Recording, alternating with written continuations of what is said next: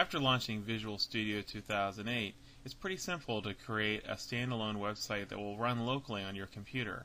Simply select File, then choose New Website, then choose ASP.NET Website with a location set to File System. That's really key. File System is what enables your site to run on your computer instead of requiring installation on a separate web server such as Internet Information Services. And then in this location to the right, you can enter the path for your website. For the sake of time, I'm going to just choose the default location. When I click OK, Visual Studio goes through a few steps and cooks up a website. And at the bottom it says creating project website 3, project creation successful. We now have our site. So as you see, it created a basic ASPX file. You can also right click the project and choose add new item.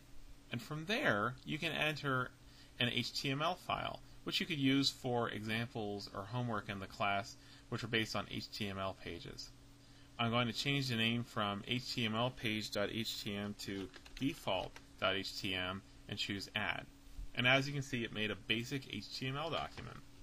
I'll now click in the body area and type, this is my web page. From this point, I'm going to save the file and then I can right click that file and choose View in Browser. When I do this, it's going to launch the standalone Cassini web server, which will run in the tray on your computer. So I'm going to choose View in Browser,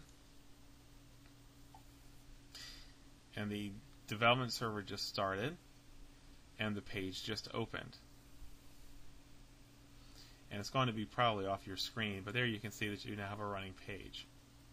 So now what I'm going to do is just close that page and from this point forward when you're working in this site you can just choose view in browser on a page and you can work with it.